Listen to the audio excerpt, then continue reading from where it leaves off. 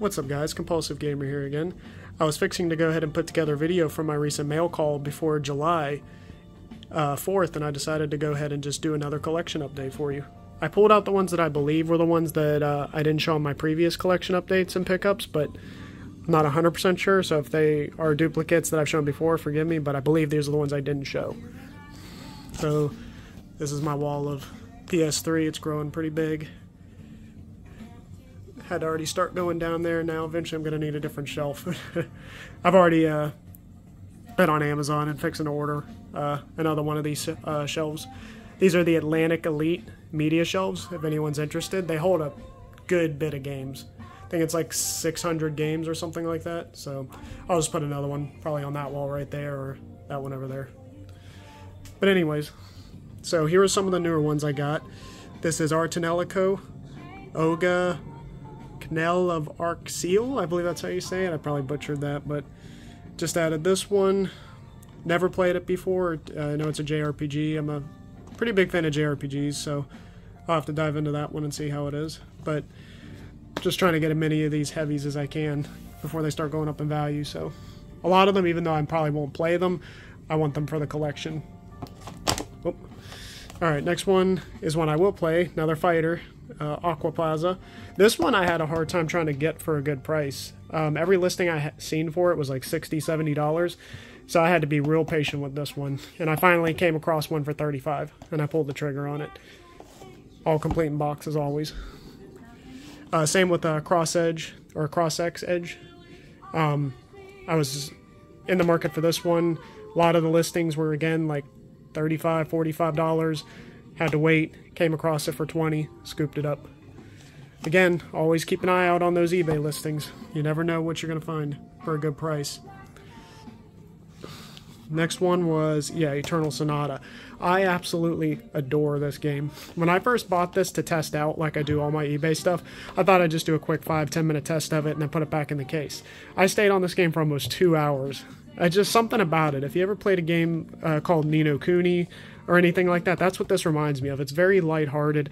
Like this is the kind of game that you would play if you're having a bad day and you just want something that's a little more tame, you know what I mean? Just something you can kick back, enjoy the story that has really pretty graphics and atmosphere and characters, just an overall great JRPG. So if you're looking for something new to play and you haven't played uh, Eternal Sonata, I definitely recommend you give it a try. Uh, next up is Overkill, House of the Dead Overkill Extended Cut. As I mentioned in my previous pickup video, I'm thinking about getting into the PlayStation Move uh, and picking up some of the light gun shooters on rail shooters like this one. And uh, I came across this one for 25 bucks and scooped it up. I loved uh, House of the Dead 2 and 3, so eager to dive into that one. Uh, I'm gonna probably order one of the uh, PlayStation Move kits bundles and maybe do an unboxing video of that and set it all up and maybe try out a couple of the uh, rail shooters. So maybe I'll post a video of that when that happens. Excuse me. Uh, King of Fighters 13. Again, this was another one. Every listing I found, 60 $65. Got this for $34. As soon as it came up, he actually had it listed for, for 45 And I messaged him and said, hey man, would you do 30 for it? Or sorry, 34 for it. And uh, he said, yeah. And he took it. So another uh, heavy hitter in the collection for a good price. Down here, we got Naughty Bear Double Trouble. Now, this is an interesting one. There's like three versions of this game. There's Naughty Bear, Trouble, and Paradise. I believe, right? Let me see this. Yeah, it's Panic in Paradise. Yeah. Naughty Bear, Trouble, in Paradise is the first game. Then there's Naughty Bear Gold Edition, uh, which has the uh, DLC and everything on. Then there's Naughty Bear Double Trouble, which has another DLC on it called Panic in Paradise. For some reason, this one is like super expensive compared to the other ones. It's like $20, $30 more than the other two. And I don't know why, other than it just being a cover art variant and it having the DLC code, which isn't even active anyway. So I'm not sure why this one's more than the gold edition. I guess people wanted to say double trouble on it, but I got this one for I believe forty dollars, and it usually sells for around sixty dollars. So I don't know, but it's one of those games, I guess. Next one was Persona 4 Ultimax. Again, another fighter. Love Persona. As you can hear, it's already playing on there. Persona 5, one of my favorite games of all time. But uh, never played the fighting game before, and this one used to be super expensive. This used to be like a 120 $130 game, so I know it dropped drastically because of the re-release on PlayStation Network. And I get I got this for I think twelve dollars, so not gonna complain. It's the only way to get it physical, so happy to have that. Next up, Puppeteer. This is always on everybody's list. Haven't had a chance to play it. I've watched some gameplay of it though. Looks very cool. Got this one for $40, I believe. And that's right around market. Mark's usually around like 40, 55, so I got it on the lower end. Another HD game for the collection, Silent Hill HD. I'm trying to get all the HD compilations. I know Silent Hill HD collection gets a bad rap because of the issues it had, but at least the PS3 version got the patches that ha- address some of the visual glitches and audio. So the PS3 version is the more sought after version over the 360 version for that reason. Probably not going to play it because I prefer the originals, but I'm trying to get all the HD collections, so needed it for the set. Alright, getting down to the last few, we got Stranglehold Collector's Edition. This one I remember playing back on 360, and uh, this is pretty fun. It reminds me of Wet. It's like one of those slow mo bullet time kind of games where you just start shooting everything that moves and time slows down. You do all these crazy uh, jump mechanics and stuff like that. And this one actually comes with Hard Boiled on it, the full length movie, so that's pretty cool. Reminds me of the uh, Watchmen one that I picked up where it comes with a movie on it. Love when they add movies onto games. I just think that really adds to the value of the games. Next up, another one I don't know too much about, Tears to Tiara 2. Um, this one's getting really expensive, so if you can get this one cheap, I definitely recommend trying to hunt for it now. I only paid 40 for it, but usually it goes for around 60 to 70 dollars. So keep an eye out for this one. Another one that's getting up there, Time and Eternity. I dabbled in this for a little bit. This is such a unique game.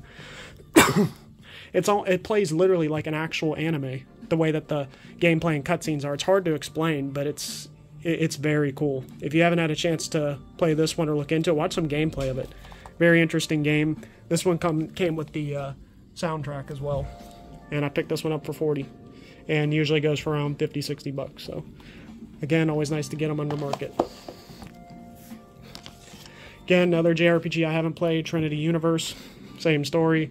Saw it after, as all JRPGs are. They're getting expensive, so highly recommend you if you're in the market for any of the JRPGs, now is the time to pick them up before they start getting super expensive. Uh, I believe I got this one for $37. So, another JRPG for the lot. And last but not least, oh man, what to say about this game? Vampire Rain Altered Species. I actually loved this game on 360. This game got terrible reviews, and I know that people hate this game because the gameplay is kind of like it's like a mix between like Splinter Cell. um, it's like a Splinter Cell style game with vampires in it, but you can't really fight the vampires because they're so overpowered they kill you in like two hits. So you're basically just trying to avoid the vampires at all costs. I know the PS3 version had a few updates to it over the 360 version, and I've been keeping an eye out for this because it seems to be getting up there in value. And if you can, try to find one that has the poster like this one has, if you can find it. Let me try to see if it's in. Yeah, see, find the one that has the poster in it because that one uh, really adds to its value. I got this one for, I believe, 35 or no, $25 from my guy on eBay. So this one's getting up there if you can find it with the poster. Again, it's not a great game. It's one of those you love it or hate it kind of games. Uh, I have a guilty pleasure with this game just because for some reason the the style and what it was going for just drew me in. I don't know why, but I don't know. it's just a very uh, very interesting game to me. That's why I like it so much. I'll probably wind up playing this today, to be honest with you.